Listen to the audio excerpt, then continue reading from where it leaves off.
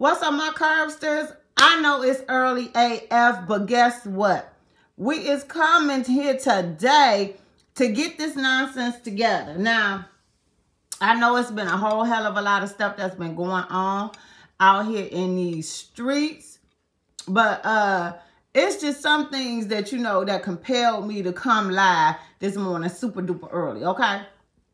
We're going to first talk about a quick second about this Lizzo situation here because truth be told, I've been seeing a lot of the things going on around on social media and stuff in regards to um Hey, good morning, good morning. Um to her walking around at this Lakers game with her ass out. Now, let me just tell you something. Uh the stuff about whether or not she a big girl and she can't be dressing like that that is not the whole reason why people are saying uh, are talking about her in this way. Let me first tell you that when nicki minaj came out with her ass out it was just distasteful. That she not a big girl either. But don't nobody want to go to a fucking lakers game and see lizzo's ass hanging out on the goddamn seat and she turned around and twerking first of all that's a family oriented place to be it's a time and a place when you should be able to do things. We're not restricting her from being a big girl and doing what she want to do and, and embracing her body and the way that she looks now. That's not the whole thing about it. The whole purpose of everybody going ham on her ass is because it was distasteful. It was not the place to do it. There were children about. You know, and I think that sometimes people get into their feelings about the whole thing I could care less. It could have been the skinniest girl on earth with her ass out. Bitch, go have several fucking seats, okay? This is a family-oriented event. Everybody come. We bring our kids. We bring babies to this event. It's the elderly there. Like, you just sitting up here shocking every goddamn body. And then go get on live and, you know, talk about she feel confident and secure within her body. Nobody is taking that from you. And I'm sorry if I got to put people in their place about this whole situation, but I give zero fucks because, again, that just wasn't a place to do it. If you on stage and you want to come out looking like that, that's fine okay? Because that goes with your whole persona and the way that you are utilizing your tools in order to enhance your music plays in order to get paid. Ain't nobody stopping your bag, sis. But please, don't come to a family event and then you sitting up there with your ass out, sitting in the seats and shit. That shit is distasteful, okay? That's my own personal opinion, and nobody was forced to do it. Oh, and don't forget, that this could have been produced at Tyler Perry Studios, but it wasn't. okay,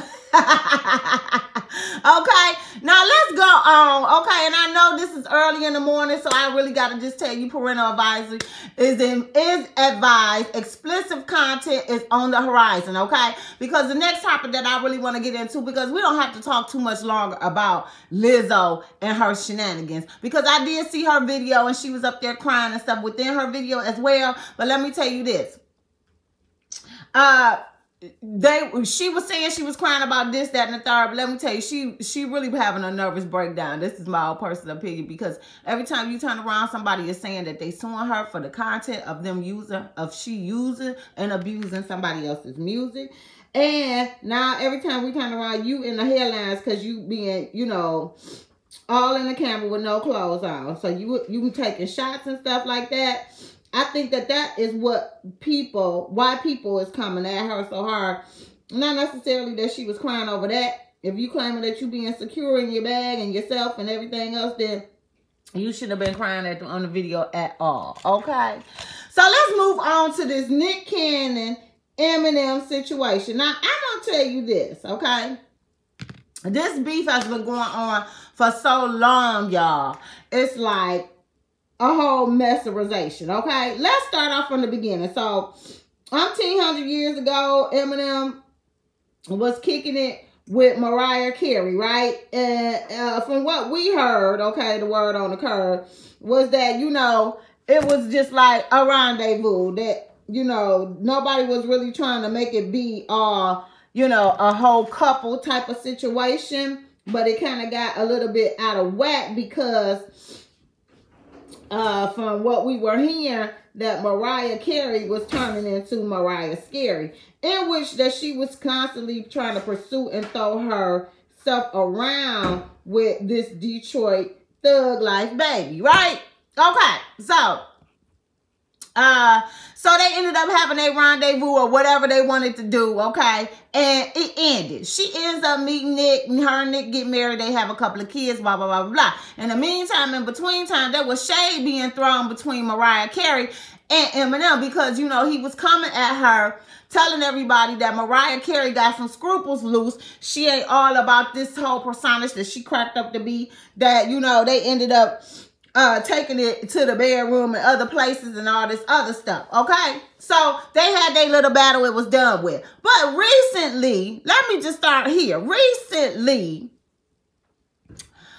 you got Nick Cannon going on different platforms, and he keeps bringing this this whole how, how, many years has it been? It's been what like ten plus years or something. This whole incident and situation up. I saw him on T.I.'s podcast, and it was done expeditiously. Okay, that he was bringing it up that he was talking about it, okay?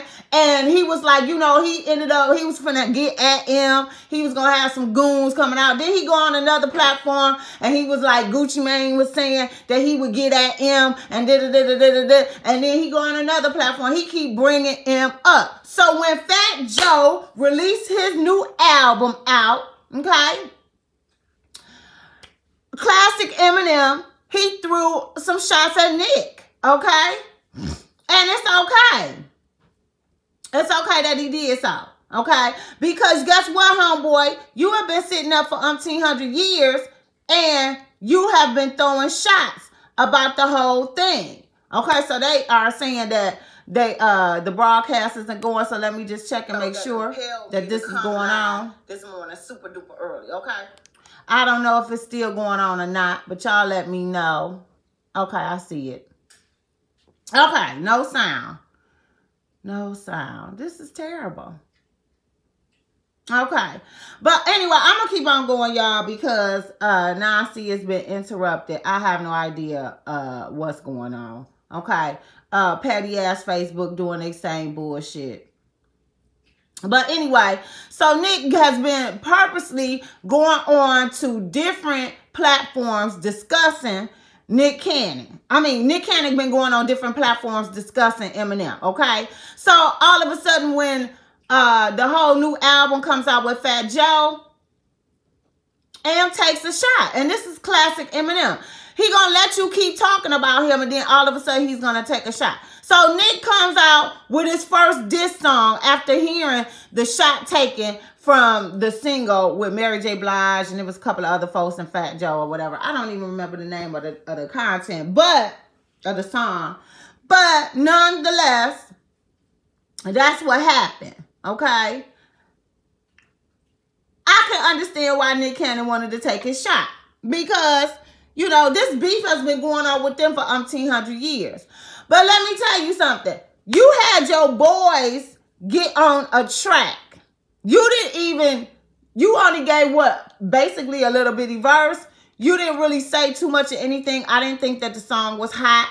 I thought the Eminem song, uh, you know, verse on Fat Joe's song was good. It was decent. You know what I'm saying? It Was it the best? No, it wasn't the best. But was it good? Yes, it was. Because he he took some under conniving shots at, you know, Nick and his family. You know what I'm saying? and, including, you know, Mariah. So it was it was a classic comeback.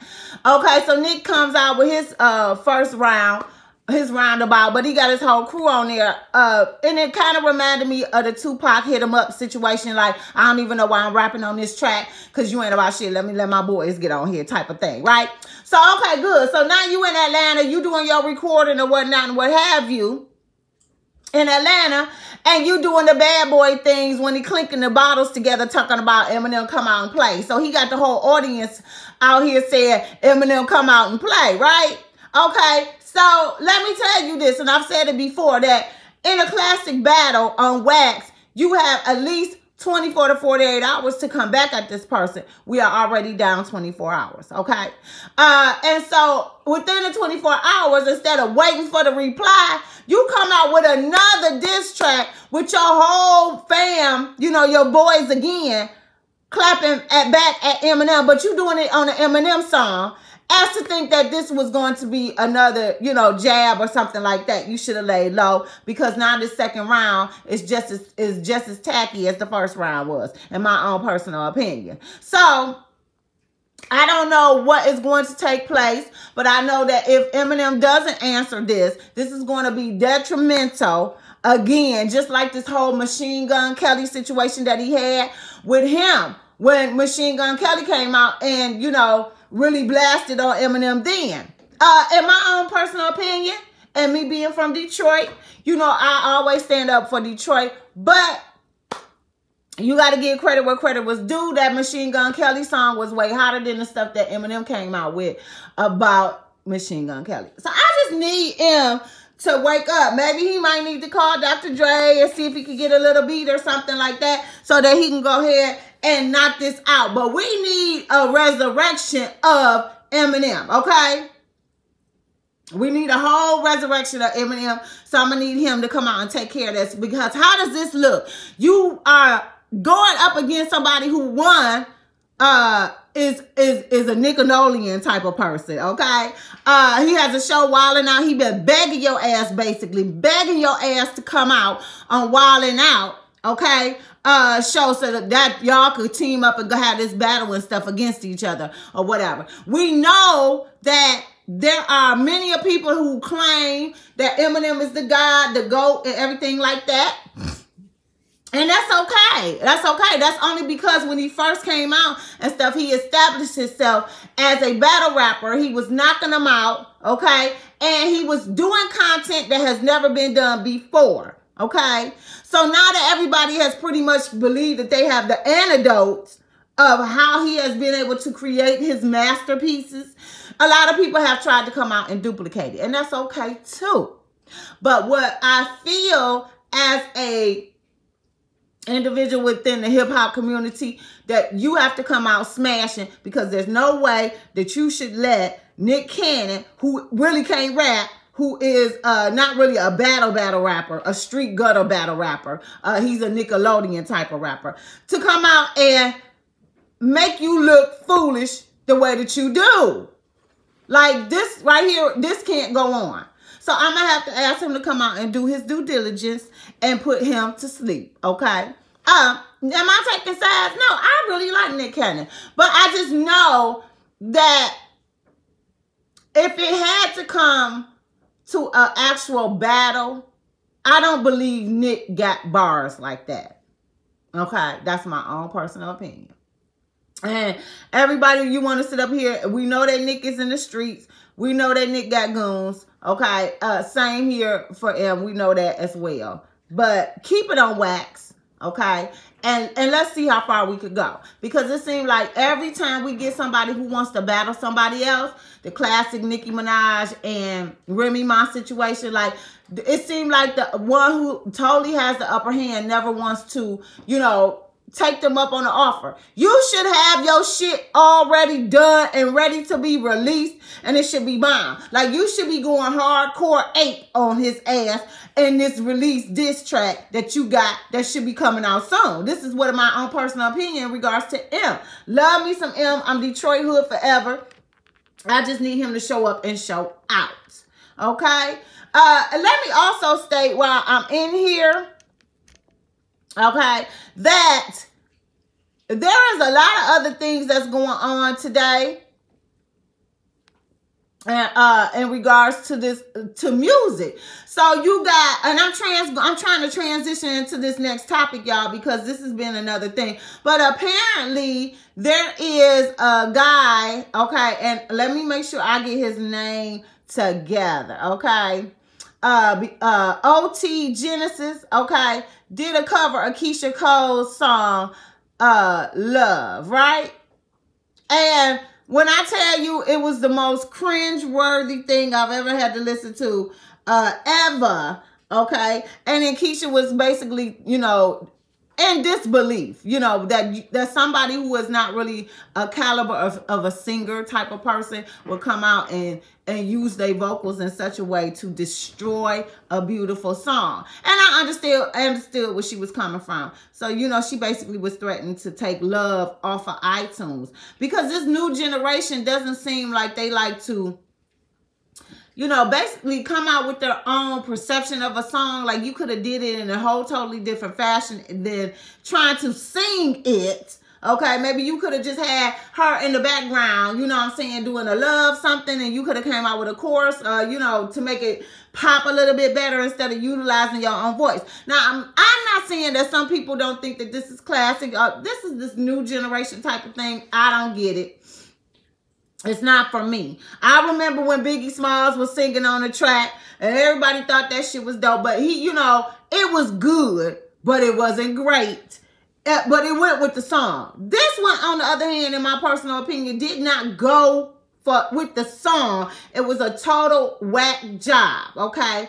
Uh, Keyshia Cole was threatening to take her song off of social media platform and streaming stuff. And then she turned around, she had to change her heart and she said, I think I've had a change of heart because of how, you know, the new generation. But a lot of people was coming at her in the comments saying that, oh, it's because you getting more streams on iTunes and stuff on your song because he rejuvenated your music. Uh, she was like, no. She said, you know, uh, once an artist creates something so close to the heart, we release it to the world. And no matter if it makes you cry, laugh, sing, or all three, it's been released.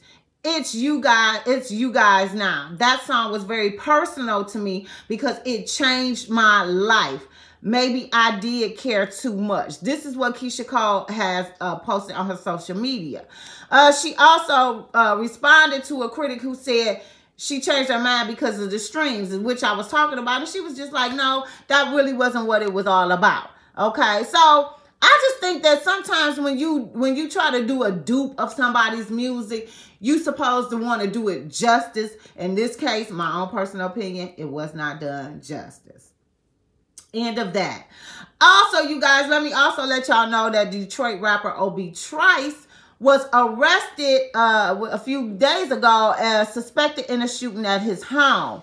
Uh, I'm getting my information from the Jasmine brand. Y'all know that Obie Trice was once signed to Eminem's uh, record label.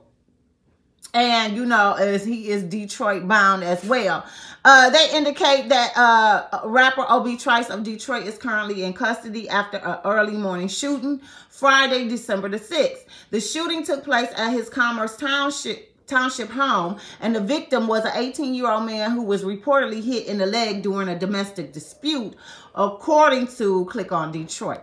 Police arrived on the scene after getting reports of a person screaming that he was shot. Officers spoke with the person who dialed 911 and that person reportedly showed them the home where they believe the shooting came from moments before. Police were also told that a white car was spotted speeding off just before officers arrived. According to the reports, officers then approached the home and saw a man leaving through the front door with a gun in his right hand. They told him to put the weapon down and to get on the ground. Police noted a couple of uh, a couple that lives together in the home had a dispute after the boyfriend was allegedly drinking. He's accused of pushing a woman during their screaming match. The son stepped in and he and his mom attempted to leave the home. That's when the boyfriend allegedly went to the bedroom, got his gun, and stopped the son and mother in the garage. The son reportedly saw the alleged gun and tried to take it away from the boyfriend. The son was hit in the groin area and was rushed to the nearby Henry Ford Hospital. Fortunately, he has since been released from the hospital and is doing well. Obie Trice, who was signed to Eminem Shady Records until 2008, was arrested in connection to the shooting, as well as for violating a friend of the court warrant for child support payments. His bond was set at 16,900. He's also facing an aggravated felony assault charge that was currently pending according to the publication. All right? So with that being said, my cursters, that is the current update on these celebrities. Don't forget that you can catch all of this on all the platforms on Facebook, on YouTube, and don't forget the podcast. Uh, again, if you are interested in purchasing some items or your Cursa shirts, and just in time for the holidays, don't forget to go to www.lovingmyteesbysixx.com and make your purchases there. As always, you guys, I am up out of here. I hope you guys have a blessed and wonderful day. And as always, I will see you in the chat. Peace.